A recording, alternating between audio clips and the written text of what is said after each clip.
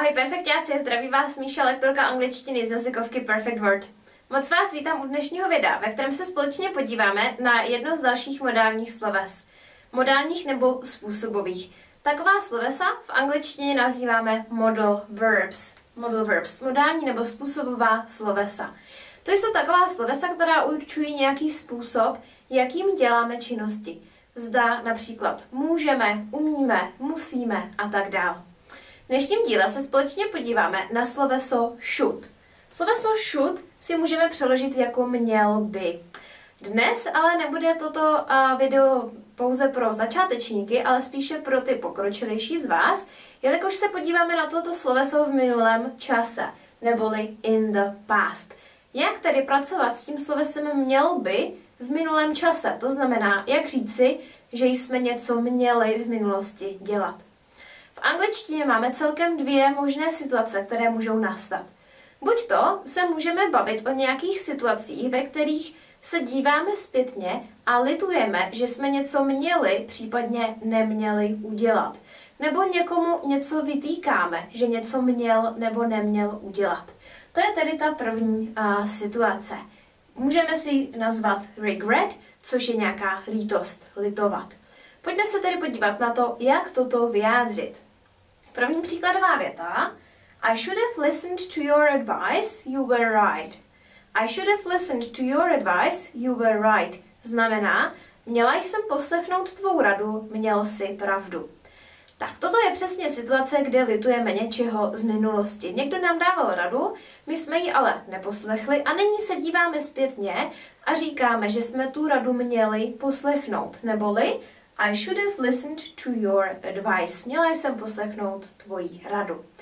Jak se to tady tvoří? Používáme zde to způsobové sloveso should, což je to měla bych, ale jelikož jsme v minulosti díváme se zpětně, musíme použít takzvaný minulý infinitiv, který je velmi snadný. Tvoří se tak, že použijeme sloveso have, to je zde pomocné, a poté sloveso s koncovkou ed, anebo třetí tvar, kde bychom měli nepravidelná slovesa.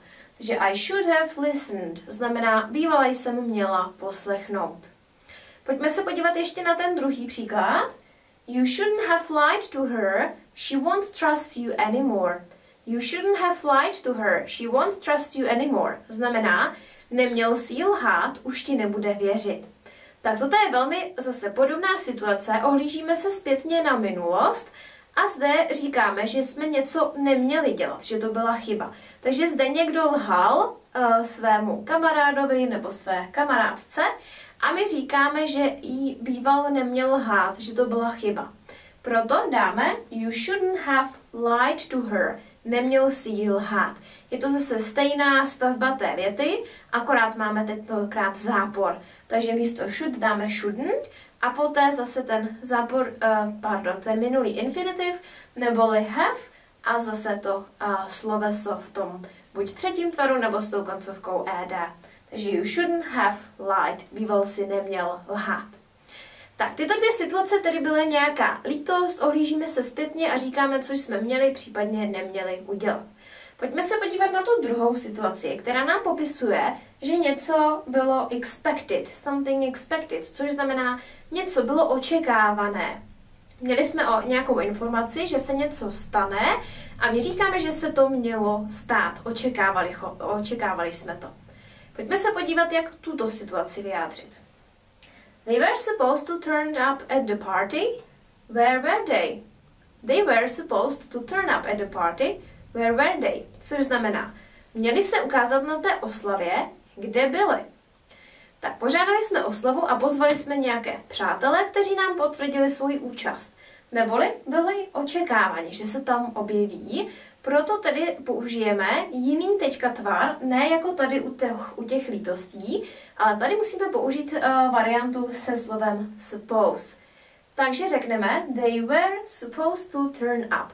Měli se tam objevit. Bylo to očekávané. Věděli jsme dopředu, že dorazí.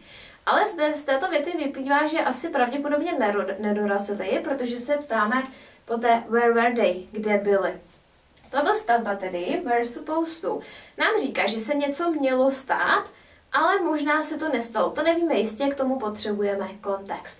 Jak se to tedy tvoří, takovéto věty? Vždycky použijeme sloveso být. A když budeme v minulém čase, tak samozřejmě v tom minulém tvaru, takže were nebo was. Poté budeme mít vždy slovičko supposed a poté bude infinitiv slovesa stu. Takže they were supposed to turn up. Když bychom si to měli doslovně přeložit, tak sloveso suppose znamená předpokládat. Takže tato věta vlastně znamená, že se předpokládalo, že se tam objeví. Jinými slovy, měli se tam objevit. Pojďme si to ještě ověřit na té druhé větě. We cancelled our trip because it was supposed to rain. We cancelled our trip because it was supposed to rain, což znamená, zrušili jsme náš výlet, protože mělo pršet.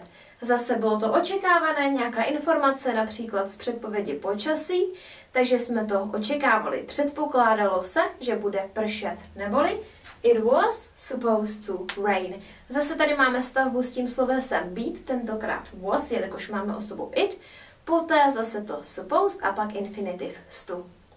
Tak a to je vše ohledně toho slovesa shoot v minulosti. Pojďme si to tady ještě jednou schrnout. Máme dvě možné situace, jak toto použít. Buď se díváme na minulost a říkáme, že uh, něčeho litujeme, že jsme něco bývali měli udělat, nebo naopak bývali neměli udělat. V těchto situacích používáme vždycky tvar slovesa should, případně shouldn't, když jsme v záporu, a poté have a sloveso s koncovkou ed nebo ve třetím tvaru. Takže například I should have listened to your advice, you were right. Měla jsem poslechnout tvou radu, měl si pravdu. Nebo You shouldn't have lied to her, she won't trust you anymore. Neměl si jí lhát, už ti nebude věřit. Druhá situace může nastat tehdy, když říkáme, že se něco mělo stát, neboli že to bylo očekáváno nebo předpokládáno. Poté používáme spojení slovesa být, tedy ve tvaru was nebo were, když jsme v té minulosti. Poté máme sloveso supposed a poté následuje infinitiv to. Takže například They were supposed to turn up at the party. Where were they? Měli se ukázat na té party. Kde byli? A nebo We cancelled our trip because it was supposed to rain.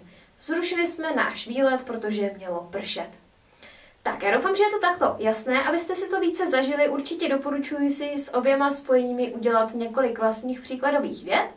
Pokud se vám video líbilo, nezapomeňte mu dát like a také odběr našemu kanálu, jestli ještě neodebíráte, aby vám neutekly žádné z dalších našich užitečných typů.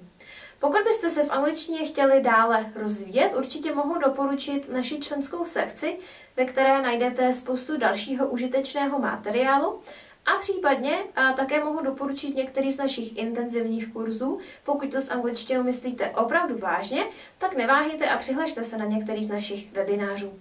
Odkazy jak na členskou sekci, tak na ty webinářové kurzy najdete poté v popisku videa. Já vám moc děkuji za pozornost a budu se těšit u některého ze svých dalších videí.